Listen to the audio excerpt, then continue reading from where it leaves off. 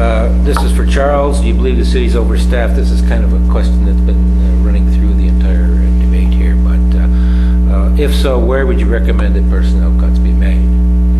Well, and that's one that we hear a lot, uh, certainly as, uh, again, as I'm crisscrossing the city talking to folks, you know, they're, they're, they're always talking about too much fat at City Hall.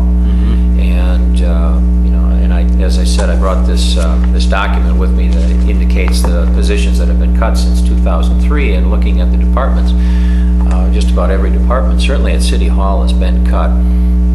There's one thing that folks need to understand is that a lot of the services that are provided by the city are mandated. They're services that we have to provide.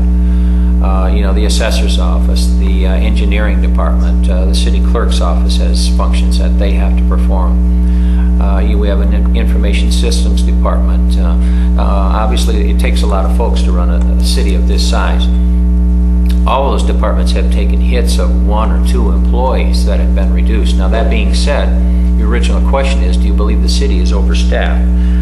Certainly, as I said previously, we can always look for cost efficiencies. Um, And I, it's something that uh, I think that we need to uh, require the city manager to do, because that's his function, is to take a, a, a very hard look at the organization. We haven't done that recently. When Mr. Belleman first got uh, uh, first got the full-time position, was uh, hired for the position of city manager, he did a restructuring, and it was based on the staff at that time. Now I've said a couple times now we've downsized quite a number of employees, and so I think it's something that really needs to be looked at seriously as far as the staffing. Um, In what uh, departments would I recommend that personnel cuts be made?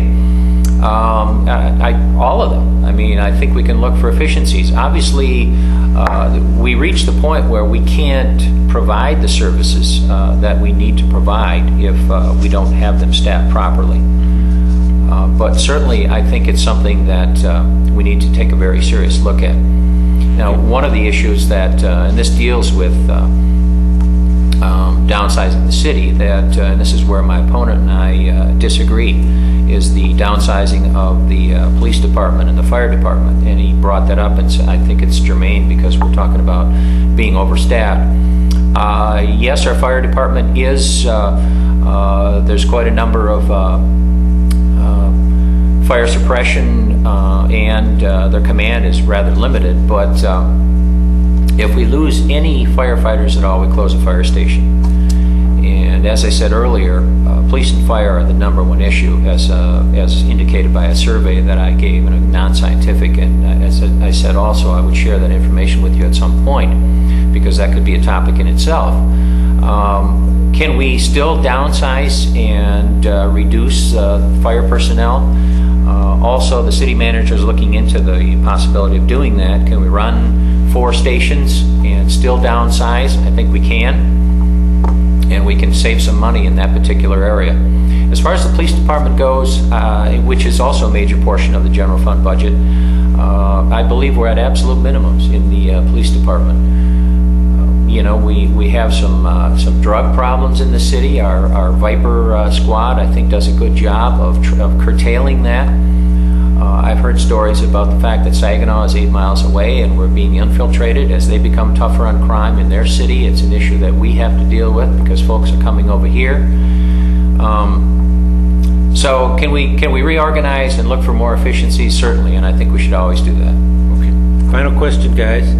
Uh, As you know, the state uh, has a uh, tax increase proposal uh, on the, uh, on the agenda, and it's, uh, it's quite controversial. Uh, The governor says this will cost the uh, average family of four that makes $50,000 or $50,000 income a dollar a person a week, or 200 bucks.